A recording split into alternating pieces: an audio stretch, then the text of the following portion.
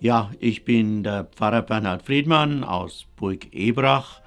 Zu meiner Pfarrei gehört dann noch Schönbrunn als Pfarrei und dann noch Oberköst, Amperbach und Stabbenbach.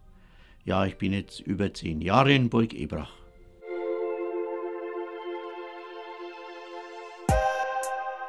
Ja, bei mir ist schon ziemlich lang her, das ist schon über 40 Jahre oder vielmehr oder 50 Jahre kann man schon sagen.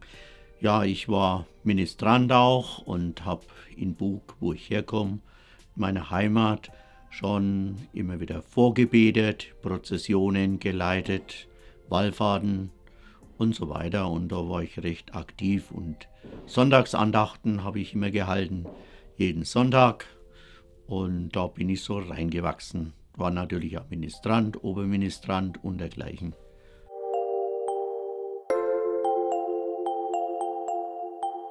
Ja, wenn ich nicht im Pfarrhaus bin, dann bin ich auf irgendeiner Baustelle. Solange ich jetzt Pfarrer in Burg Ebrach bin, baue ich angefangen von den Krippenanbauten, habe ich drei gemacht und dann die ganzen Kirchen renoviert. Und da bin ich immer auf irgendeiner Baustelle. Zurzeit habe ich auch wieder drei Baustellen. Es ist Ampferbach ist im Bau, dann wird der Personalraum angebaut in Burg Ebrach an einem der Kindergärten. Ich habe ja vier Kindergärten mit 21 Gruppen und da gibt es immer wieder was zu bauen. Zwei Kindergärten davon ist es dachundicht und da bin ich immer wieder beschäftigt damit, mit den Architekten oder selber mit den Planungen. Ich schaue mich auch um in vielen Kirchen, wie die gestaltet sind und da kann ich schon mitreden und da biete ich den Architekten auch Paroli und die haben schon das gemerkt inzwischen. Das ist nicht so einfach, wenn ein Architekt mit mir verhandelt. Denen rede ich schon immer dazwischen und zeige ihnen, was auch so im kirchlichen Bereich wichtig ist und worauf man achten muss. Und da bin ich schon ein richtiger alter Hase, was das Bauen betrifft.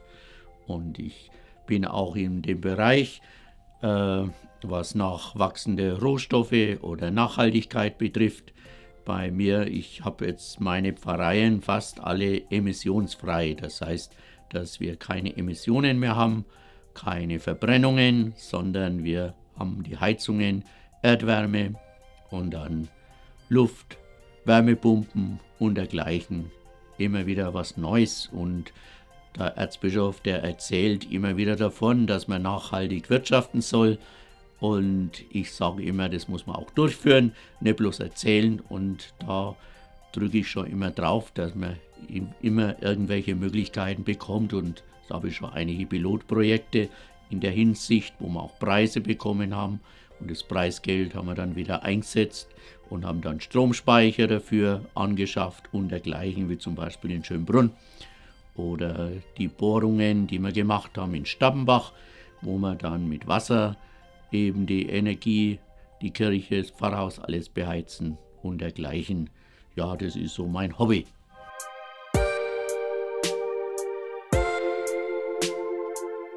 Mein schönstes Hobby ist immer die, die Gottesdienste.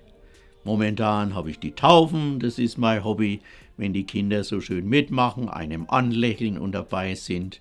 Ja, das ist so momentan ja, habe ich so zwei Taufen am Samstag, zwei Taufen am Sonntag und das macht mir Spaß. Ja.